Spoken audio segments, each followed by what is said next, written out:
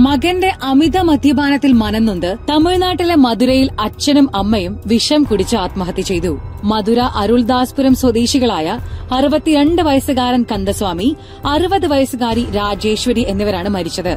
ഈ ദമ്പതികൾക്ക് രണ്ട് ആൺമക്കളുണ്ടായിരുന്നു. അവരിലൊരാൾ കുറച്ച് വർഷങ്ങൾക്ക് മുമ്പ് മരിച്ചു. മറ്റൊരു മകൻ അഴകർ സ്വാമി എന്ന ഗുണ കുടുംബത്തോടൊപ്പം ബദനിപുരത്ത് ഒറ്റയ്ക്കാണ് താമസിക്കുന്നത്. ഈ സാഹചര്യത്തിൽ അഴകർ സ്വാമി മദ്യത്തിന് അടിമയാണെന്നും പതിവായി ഇവർ തമ്മിൽ വഴക്കാണെന്നും പറയപ്പെടുന്നു. ഒരു ഉത്തരവാദിത്ത ബോധവും ഇയാൾക്കുണ്ടായിരുന്നില്ല എന്നും പറയപ്പെടുന്നു.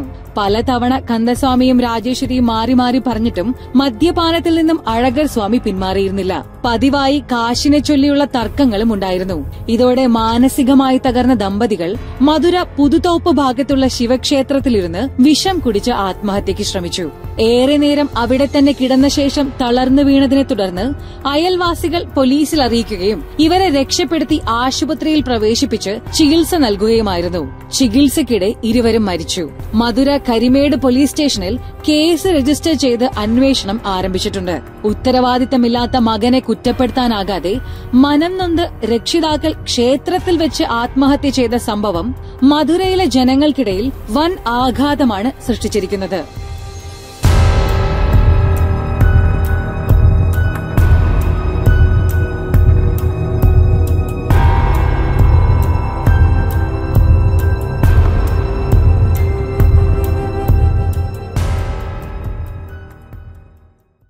ആസിഫ് അലിയെ കുറിച്ച് ആസിഫ് അലിയുടെ അഭിനയത്തെ പറഞ്ഞപ്പോൾ പെട്ടെന്ന് വൈറസിൽ പുള്ളി ചെയ്തിരിക്കുന്നു. അപ്പോൾ ഞാൻ പറഞ്ഞു എല്ലാവരും കൂടെ ചെയ്ത ഒരു സിനിമയല്ലേ വൈറസ്? അപ്പോൾ പറഞ്ഞു അതാണ് ആസിഫ് അലിയെ ഞാൻ ശ്രദ്ധിക്കുന്നതെന്നാണ് അയാൾ പറഞ്ഞത്. ഒരു സ്റ്റാർ ആവണോ ഒരു ആക്ടർ ആവണോ എന്നുള്ള ഒരു ടേണിംഗ് പോയിന്റ് ഉണ്ട്. എനിക്ക് ഒറ്റ ഇത് ഒരു ആക്ടർ ആവുക എന്നുള്ളത് തന്നെയാണ്. ഞാൻ നിങ്ങളുടെ ശബ്ദത്തിന് അത്രയും ബേസ് ഉണ്ടാക്കി സംസാരിക്കാൻ ട്രൈ ചെയ്യുന്നു. ക്യാരക്ടേഴ്സ് നല്ലത് കിട്ടിയാലും ചെയ്യാൻ ഒരു മടിയും കാണിച്ചിട്ടില്ല. കുറ്റവും ശിക്ഷയും. രാജീവ് രവി സിനിമയിലെ പോലീസുകാരനാവുകയാണ്. എന്താണ് പ്രത്യേകത? കുറ്റവാളി ആരായിരിക്കും എന്നുള്ളതിനേക്കാൾ ശിക്ഷ അനുഭവിക്കുന്നത് ആരൊക്കെയാണെന്നുള്ളതാണ് ഈ സിനിമ പറഞ്ഞു പോകുന്നത്. ഒരു ഇൻവെസ്റ്റിഗേഷനിൽ പോലീസുകാർ അനുഭവിക്കുന്ന ബുദ്ധിമുട്ടുകളുണ്ടല്ലോ.